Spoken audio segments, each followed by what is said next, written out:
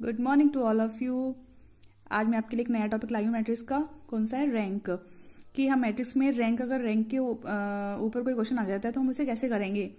तो सबसे पहले इसकी डेफिनेशन पता होनी चाहिए ना? तो उससे पहले अगर आपने मेरा चैनल सब्सक्राइब नहीं करा तो कर लीजिए वीडियो अच्छी लगे तो लाइक शेयर ज़रूर कीजिए। तो चलिए स्टार्ट करते हैं। रैंक होता क्या है? Rank of a matrix is the order of highest order मैं किसी भी मैट्रिक्स की रैंक वो होती है जो उसका हाइएस्ट ऑर्डर होता है। नॉन सिंगुलर सब मैट्रिक्स है ना? नॉन सिंगुलर सब मैट्रिक्स होनी चाहिए वो। सिंगुलर नहीं होनी चाहिए। अगर वो सिंगुलर आई तो उसको हम फिर सॉल्व करेंगे। तब तक करेंगे जब तक कि नॉन सिंगुलर ना जाए। और जो उसका हाईएस्ट ऑर्डर होगा, वही उसकी रैंक होगी। It is denoted by rho A या रैंक ए जैसे फॉर एग्ज़ाम्पल हमें ए दिया हुआ है। कोई मैट्रिक्स दी हुई है वन वन वन वन कितने ऑर्डर की है ये? टू इंटू टू दो रो है और दो ही कॉलम है। तो ऑर्डर टू की हो गई। अब देखिए हम इसका डिटर्मिनेंट निकालेंगे। डिटर्मिनेंट क्या होता है? इस वाले किसमें मल्टीप्लाई करते हैं और इस माइनस इसकी इसमें तो one into one minus one into one तो कितना आ गया? ये हमारा आ गया ज़ीरो इसका मतलब ऑर्डर टू में हमारा सिंगुलर आ रहा है वैल्यू है ना? वैल्यू क्या आ रही है? सिंगुलर आ रही है. तो इसका मतलब इसकी रैंक टू नहीं होगी. अब हम क्या लेंगे? इसका माइनर लेंगे. माइनर ऑर्डर वन अब ऑर्डर वन में तो सारी आ जाएँगी। ये आ जाएगा इसका वन का डिटर्मिनेंट ये इसका अलग से निकाल लेंगे वन का। ये सारी नॉन ज़ीरो ही होंगी, है ना? सारी क्या होंगी? नॉन ज़ीरो होंगी। तो इसको, इस ऑर्डर इसकी रैंक कितनी होगी हमारी? रैंक हो जाएगी वन क्योंकि ऑर्डर टू है, जब ऑर्डर टू में हमारे ये वैल्यू ज़ीरो आ गई है तो इसकी रैंक टू तो होगी नहीं। जब रैंक टू नहीं है तो रैंक वन तो होगी होगी, है ना? जैसे अब थ्री ऑर्डर की ले लेते हैं, उससे ज़्यादा क्लियर समझ में आएगा। जैसे ऑर्डर थ्री की ले ली हमने, ये तीन ऑर्डर का है। इसको हम वैसे भी एक्लन फॉर्म से कर सकते हैं, लेकिन मैं आपको दूसरे मेथड से बता रही हूँ पहले। पहले हमने इसका डिटर्मिनेंट निकाला। तो हमने इसका डिटर्मिनेंट निकाला। डिटर्मिनेंट क्या था? पहला वाला वन ऐसी, ये खत्म ये खत्म, है ना? ये खत्म हो जाएगा, ये खत्म हो जाएगा। इसकी इसमें मल्टीप्लाई दो तिया छह, फिर माइनस होता है। और इसमें भी माइनस है तो माइनस माइनस प्लस हो जाएगा, तीन दूनी छह। फिर फॉर्मूले में होता है माइनस का। फिर ऊपर का लेंगे टू। ऊपर की जो ब्रैकेट से इधर वैल्यू है, वो ऊपर की वैल्यूज़ लिखी जाएँगी। पहले प्लस में, दूसरा माइनस में, फिर प्लस में। फिर इसमें टू लिया। तो ये वाला कॉलम और ये वाली रो खत्म। इसकी मल्टीप्लाई इसमें करेंगे तो माइनस के तीन। और उसमें माइनस है तो माइनस माइनस प्लस हो जाएगा और थ्री आ जाएगा। उसके बाद फिर लेंगे प्लस थ्री। प्लस थ्री लेंगे तो क्या हो जाएगा? ये खत्म ये खत्म। कॉलम और रो खत्म। ये बचा। ये आ गया माइनस टू। और माइनस माइनस प्लस ये आ गया टू। ये भी वैल्यू ज़ीरो हो गई है ना? ये भी खत्म। ये भी खत्म और ये भी खत्म। तो डिटर्मिनेंट ए की वैल्यू क्या आ गई हमारी? ज़ीरो। इसका मतलब ये सिंगुलर वैल्यू आई है तो इसका ऑर्डर मतलब रैंक इसकी तीन तो होगी नहीं। अब हम निकालेंगे। इसका माइनर निकालेंगे किसका? ऑर्डर टू का। अब ऑर्डर टू में कौन कौन से आएँगे? देखो। ये बन जाएगी, मैट्रिक्स, एक ये बन जाएगी, एक ये बन जाएगी और एक ये बन जाएगी। निकालिए। पहला है वन, टू वन, टू। एक तो इसका डिटर्मिनेंट हो गया। दूसरी कौन सी होगी? टू, थ्री टू, थ्री, है ना? टू, थ्री, फिर one, two, minus one, minus two. One, two, minus one, minus two. फिर आ जाएगा two, three, minus two, minus three. देखिए, ये टू में से टू गया ये भी ज़ीरो हो रहा है ये भी ज़ीरो हो रहा है ये भी ज़ीरो हो रहा है ये भी। तो इसका मतलब इसका ऑर्डर टू की सारी वैल्यूज़ क्या आ रही है? ज़ीरो आ रही है। तो इसकी रैंक टू भी नहीं होगी। अब लेंगे रैंक अब कौन सा माइनर लेंगे इसका? माइनर uh, लेंगे ऑर्डर वन अब ऑर्डर वन में तो ये सारी आ जाएँगे ना। ऑर्डर वन भी आ जाएगा ऑर्डर टू भी आ जाएगा। ये सॉरी डिटर्मिनेंट वन भी आ जाएगा डिटर्मिनेंट टू डिटर्मिनेंट थ्री ये सारे आ जाएँगे नॉन ज़ीरो ही आएँगे। तो इसकी रैंक कितनी हो जाएगी? इसकी रैंक हो जाएगी हमारी वन कितनी रैंक आएगी? इसकी वन और अगर आप इसे वैसे भी करना चाहें दूसरे मेथड से तो ये देख लीजिए। सेकेंड मेथड है ना? जैसे सेकेंड मेथड से करेंगे तो क्या आएगा? जैसे one two three one two three minus one minus two minus three दिया हुआ है। तो हम इसमें क्या करेंगे? देखिए, जो हमारी आर थ्री ये आर वन है, ये आर टू है, ये आर थ्री है रो है ना? तो जब आर थ्री रो में क्या कर देंगे? आर थ्री रो को ले सकते हैं R three plus R two इसमें से आर टू प्लस कर देंगे तो देखिए क्या आता है। वन टू थ्री ऐसे आ गया। वन टू थ्री ऐसी आ गया। इसमें इसको प्लस करा तो ज़ीरो हो जाएगा ये। माइनस वन से वन गया ज़ीरो माइनस टू में से टू गया ज़ीरो ये भी ज़ीरो हो गया ना? ये आ गया। उसके बाद जब हम अगली फॉर्म निकालेंगे अब क्या लिख सकते हैं? अब आर टू में से आर वन माइनस कर सकते हैं। R two minus R one ये हम आर टू को लिख सकते हैं।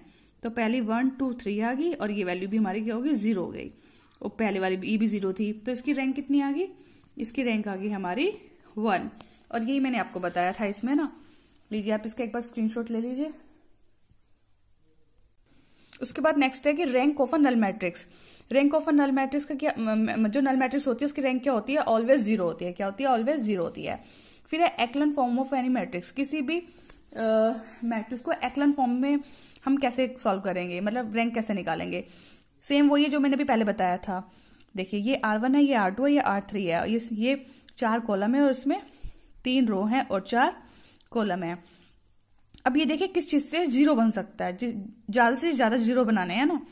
तो अगर हम ऊपर दिया है वन टू माइनस वन अगर इसमें टू की मल्टीप्लाई करेंगे तो नीचे वाला टर्म मिल रहा है। तो हम आर थ्री को कैसे लिख सकते हैं? R three plus two R one sorry two R two मतलब आर टू में टू की मल्टीप्लाई कर देंगे। तो क्या आ जाएगी हमारी मैट्रिक्स आ जाएगी? ए इक्वल आ जाएगी हमारी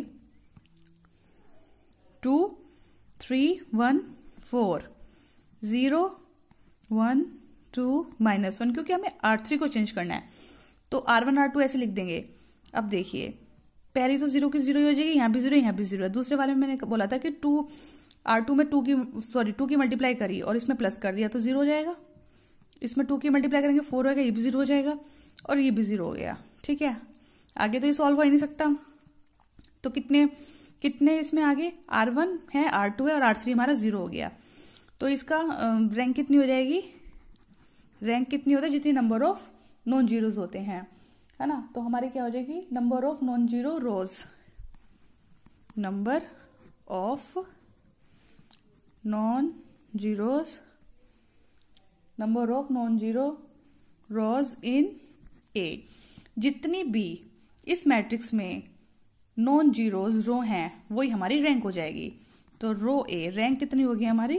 टू दो number of non zero rows है तो ये हमारी रैंक टू होगी। अब कुछ प्रॉपर्टीज़ हैं इसकी। रैंक की देखिए, कोई मैट्रिक्स दी हुई है हमें A m cross n matrix then rank A अगर रैंक ए निकालना है तो हमेशा लेस देन वे इक्वल होगी मिनिमम एम एन के। एम ये हो गया एम जो रो की काउंटिंग है, वो एन जो ऑर्डर जो कॉलम की होती है। जैसे हमें एक मैट्रिक्स दे दी ए वन क्रॉस टेन में दे दी, जिसकी रो तो वन है और ऑर्डर कितने हैं? दस हैं। तो उसकी मिनिमम मिनिमम वन टेन हो गया। अब वन टेन होने के बाद क्या हो जाएगा? इसकी रैंक कितनी आ जाएगी? मिनिमम पूछे तो वन आ जाएगी। उसके बाद रैंक ए रैंक ए हमेशा रैंक ए डैश के बराबर होगी।